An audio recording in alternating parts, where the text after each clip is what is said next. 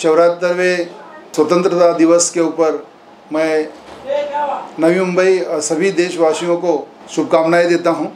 देश को संभालने के लिए, देश के अंदर जो धर्मनिरपेक्षता है, जो भाईचारा है, जो सद्भावना है, इसको ज़िंदा रखने के लिए आज हम सभी क्षेत्र के लोगों को इसके ऊपर काम करना पड़ेगा भाईचारा ये जो है हर एक के जहन में आना ज़रूरी है।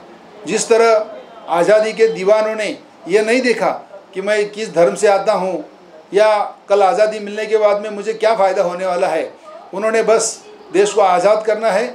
इस सोच के तहत उस आज़ादी के जंग में कूद गए और अपनी जान निछावर कर दी। मैं फिर से एक बार देशवासियों को और ख़ास करके मुंबई वासियों को ये कहना चाहूँगा कि हमारे आसपास में, पड़ोस में हमारा परिसर कैसा ठीक रहे, यहाँ पर ज़्यादा महामारी ना फैले और महामारी में ज़्यादा से ज़्यादा लोगों की मदद करें, ये सोच के तहत हमको जीना सीखना चाहिए। लेटेस्ट अपडेट्स और ताज़ा तरीन खबरों के लिए टीवी वन इंडिया लाइव को सब्सक्राइब कीजिए और नोटिफिकेशन पाने के लिए बेल आइकॉन को दबाना मत भूलिए।